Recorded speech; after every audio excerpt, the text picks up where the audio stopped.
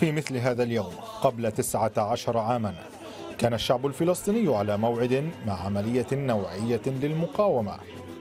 بمسدس كاتم للصوت ثأرت الجبهة الشعبية لاغتيال أمينها العام أبو علي مصطفى. فكان وزير السياحة الإسرائيلي رحب عام زائيفي الهدف.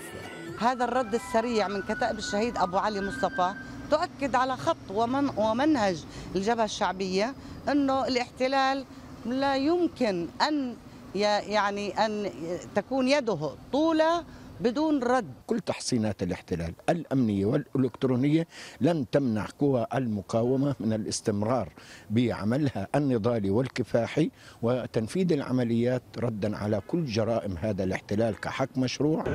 الاحتفاء الفلسطيني في السابع عشر من تشرين الأول أكتوبر من كل عام بذكرى اغتيال زئيبي. يؤكد أهمية دور المقاومة في تثبيت معادلة النار بالنار ردا على الاعتداءات. معادلة باتت أكثر أهمية في ظل تطبيع بعض الأنظمة العربية مع الاحتلال.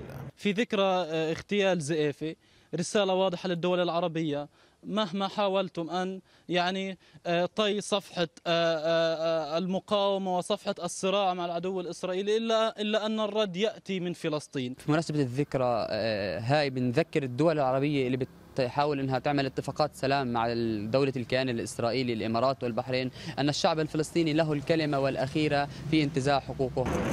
يعد اغتيال زائيفي مرحلة فاصلة في تاريخ الصراع الفلسطيني الإسرائيلي حتى بات للعملية صداها الخاص الذي يتذكره الكل الفلسطيني. 19 عاما وصدى كاتم الصوت الذي وضع حدا لحياة الزائفي ما زال يدوي. ليثبت من جديد أنه لا بديل عن المقاومة ولا سيما في ظل حالة التطبيع والخذلان العربي لفلسطين وشعبها. أحمد شردان غزة الميادين.